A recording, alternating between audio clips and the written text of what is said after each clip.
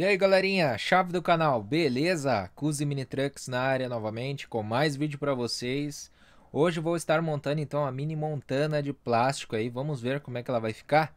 Chave que é chave, já se inscreve no canal e deixa o like, ativa o sininho que ajuda demais. Mais um projeto brabo é os guri. Isso é modelão. Use Mini Trucks, o mais chave do YouTube. Aqui estamos com a montana desmontada, montana montada, desmontada, eita nós que trava a língua. Mas enfim, eu já estava estudando, né, dando uma estudada aqui como é que eu ia montar ela, dando uma analisada no projeto, né, para não montar a moda louca, só sair colocando roda e pintando e deu. Uh, eu queria baixar ela mais para encostar o para-choque aqui atrás, porque ela vem com um defeitinho. Ela fica uns 3 milímetros mais alto o para-choque, né? Só que daí eu tenho um problema, mano. Deixa eu ver, eu tenho um calço aqui. Ó, eu vou botar esse calço aqui na mesa e eu vou botar essa roda que eu vou adaptar nela. Olha só, essa aqui é a roda do Vectra Millennium. Essa aqui é exclusivaça, quase ninguém faz pra miniatura, mano. Isso daqui é exclusivo demais. Essa roda aí ficou braba demais. Então, olha só, eu fiz um calço aqui, erguendo ela mais ou menos o tanto que eu ia cortar o assoalho ali, né? Pra baixar a traseira. A traseira até que ia ficar de boa, ó. Ia encostar ali na caixa de roda. Nossa, mas ia ficar muito top, né, mano? O problema é a frente, mano. Como vocês podem ver, a frente ela não é reta igual a traseira. Ela faz uma curva aqui ó, no capô e no paralama. Então ia pegar na roda aqui, ó. Ela pega na roda. Então para a roda ficar girando de boa, ela tem que ficar aqui, ó, nessa parte aqui do capô, ó, onde não raspa. Se eu empurrar para cá, ó, ela já encosta na roda e não baixa, ó. Vai encostar na roda aqui, ó, mano. A roda vai encostar aqui e vai deitar para dentro, vai fazer uma cambagem. Então, eu não vou conseguir fazer mais baixo que isso daqui. Esse aqui é o limite. É um limite bom, ó. Vai dar para rodar de boa a roda dianteira. A roda não vai ficar muito para dentro, né? Não fica aquele vão, aquele buraco aqui na borda. A traseira também vai rodar de boa, não vou precisar fazer as caixas de roda. Dá para usar a original. Engraçado que ela vem com esse defeito, com esse buraco aqui ó, na caixa. Vou ver se eu tampo, senão eu faço outra coisa aqui para dar uma camuflada nisso aí. Bom, a ideia então é fazer o um modelo Conquest, que é a que fica com esse paralaminha aqui, ó. Mesmo que ele tenha uns rebitezinhos, né? Eu ia fazer o modelo Sport, porém ia dar muito trampo.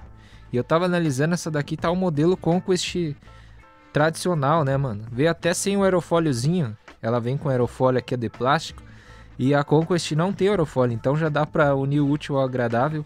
A janela da Sport é aquela de abrir, né, que tem um vãozinho no meio.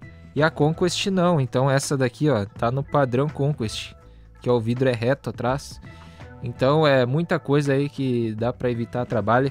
Sem falar no para-choque dianteiro, que é da Sport, vem um bigode aqui, né? Ela tem um friso. Tem que mexer em muita coisa. Então vai ser um modelo Conquest. Eu até tava testando, pintei aqui ó de preto aqui, mas só para testar, depois eu eu pinto ali de preto fosco. Essa montana eu já montei aquela da PRF. Se o editor conseguir, ele vai deixar uma fotinho para vocês aqui. E o bom da montana é que dá para baixar ela no limite, raspando o assoalho no chão, sem cortar nada do chassi original dela. O eixo aqui, o diferencial aqui, ó, da, da montana, parece diferencial do caminhão. Ele já é bem alto, mano, ó. Ela é bem alta para cima. O assoalho é bem levantado, então não precisa cortar quase nada. Só essas proteção lateral aqui, ó. Esse Santo Antônio aqui. Só isso. Olha a interna como é que é. Tá toda empoeirada. Eu, do jeito que eu peguei, eu deixei assim, ó. Não mexi em nada. Isso aqui era lá do antigo dono, né?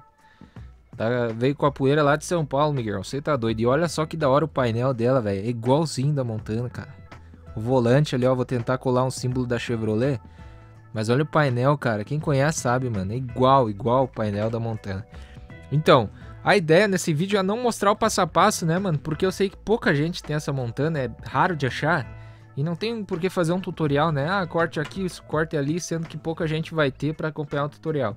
E como a gente tá na era da internet, todo mundo quer ver vídeo rápido, todo mundo já quer ver as coisas prontas, então eu vou mostrando por etapas. Agora então eu vou tirar as rodas, vou tirar aqui as capas do paralama e vou botar para rodar aqui essas rodas aqui, mano. Vamos ver como é que vai ficar? No próximo corte aí, tomara que dê certo, não demore muito. Vamos ver como é que vai ficar a primeira parte aí, ó. Rodando com a carcaça assim do jeito que tá, para depois a gente levar para pintura. Alguns momentos depois. É, tá aí então a montaninha rodando baixo Olha só que da hora os bancos, mano. Os bancos já tá pique jovem, né? Tá reclinado aqui pra trás. que massa, velho. O legal é que ela tem interior, né? Tem um painel ali, enfim. Olha só como é que ficou. Não precisei cortar as caixas de roda. Aqui na frente eu tava olhando, mano. Tá ralando no plástico. Literalmente tá ralando no plástico a roda aqui. Ó, esse buraco já é original dela. Ela tem esse buraco. Não sei se vocês sabiam, mas ela tem esse buraco aqui, ó. Porque antigamente, lá em 2000 e lá vai bolinha, quando era vendida a Montana, porque ela não vende mais, né? É uma miniatura rara. Antigamente, quando vendia, ela vinha com boneco. Por isso que tem esse buraco aqui, ó, mano, ó. Aí eles deixaram até, até os últimos moldes da Montana, que ela já vinha sem boneco. Eles deixaram com esse buraco aqui, ó. Uma curiosidade aí.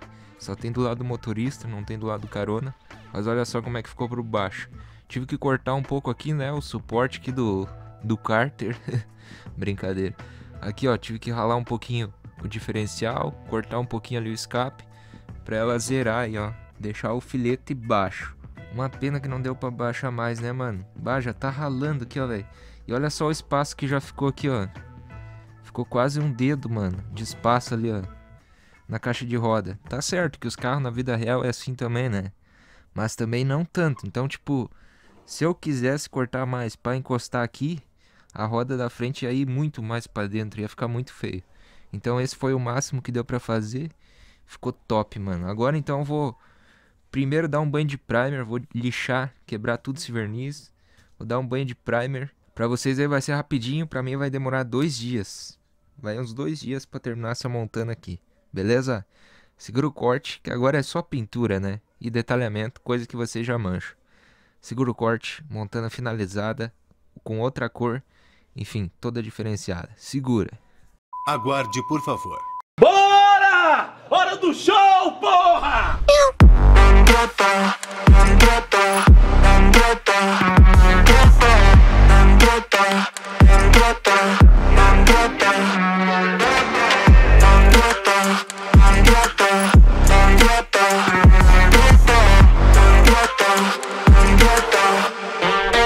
Então, pessoal, esse é o resultado da Mini Montana Conquest prata rebaixada que coisa mais linda, cara. Olha, eu agradeci muito a Deus quando eu terminei ela. Eu sempre agradeço a Deus quando eu termino um projeto e fica do jeito que eu quero, porque é só Ele para me ajudar a construir um negócio top desse jeito.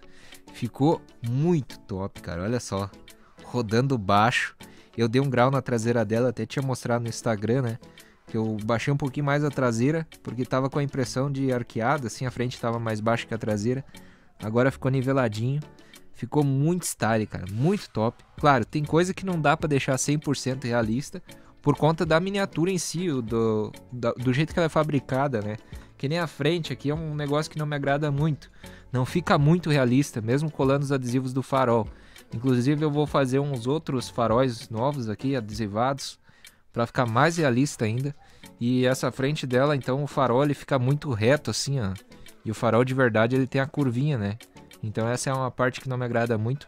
Mas, enfim, tirando isso, cara, miniatura intacta, perfeita. Deu bastante trampo para fazer, ó, essa moldura do vidro aqui, porque ela vem toda transparente o vidro, né? Eu fiz a moldura aqui na frente, até aqui descolou, ó, na hora que eu fui pegar lá na mão aqui. Mas enfim, é só botar um pinguim de cola aqui de volta, já tá tudo no lugar. Aqui em cima eu deixei aberto o buraquinho porque eu quero arrumar ainda o aerofólio avulso pra mim colocar ele aqui pra ficar mais top ainda. Por isso que eu não tampei ele, tá? Tentar achar uma carcaça de outra montana pra mim tirar o aerofólio e colocar aqui em cima. Aquele chapéuzinho que tem, né? Tem umas Conquest que tem, outras não, enfim, vai de gosto. Aqui atrás também eu fiz a moldura do vidro. A caçamba, tem umas que é preta, mas eu deixei na cor prata porque eu curti demais, cara. Bah, eu achei muito top a caçamba prata, assim. Vou ver ainda se eu pinto ela de preto, se eu isolo aqui pinto de preto fosco por dentro ou deixo assim. Mas eu achei que ficou muito massa. Bom, pintei ela na cor prata, então, né? Na cor prata da Montana. Tinha muita gente falando para fazer dessa cor. Aqui na parte traseira, então, o símbolo aí da Chevrolet, maçaneta, lanterna. A lanterna aqui traseira eu pintei ela de outra cor. Eu pintei num vermelho metálico para ficar mais realista ainda. Não dá para reparar muito, é só falando que eu pintei, mas enfim. O vermelho que tinha antes aqui era um plástico bem desbotado, por isso que eu pintei. Aí pintei o, o negócio do ré, o reboque eu deixei ele aqui ainda, ó. Aí tem a plaquinha ali. do outro lado aqui então, ó, exatamente igual do outro lado. O adesivinho Conquest, pintei a maçaneta. A borrachinha do lado resolvi deixar da cor da porta. Eu ia eu deixei a borrachinha porque eu ia pintar ela de preto, mas enfim, ia ficar muito coisa preta assim na lateral. Resolvi deixar mais clean assim. Então tá aí a montaneira, mano. Espero que vocês tenham gostado desse projeto, assim como eu curti demais. Mais uma miniatura que vai ficar pra coleção. Essa aqui não tá à venda, tá? É uma miniatura pra minha coleção aí. E eu tô sempre atualizando, né? Tô sempre melhorando alguma coisa. Então, talvez eu vou botar uma lona, ou vou botar um som aqui atrás, ou uma moto ainda, enfim. Por isso que é bom vocês me acompanharem lá no Instagram do canal, que é isso que tá aparecendo na tela. Que lá vocês conferem os bastidores do dia a dia uh, dando uma customizada nessas miniaturas, de repente trocando roda, fazendo outras coisas. E se liga só que da hora, eu tenho essa amarelinha minha aqui original, ó, embalada no plástico. Tem até a etiqueta aqui, né? Ali, ó, feita em 2018. Essa daqui vai ficar embaladinha no plástico. Ó, esse chapeuzinho que eu tava falando pra vocês, ó. Que eu quero achar pra colocar em cima ali da outra.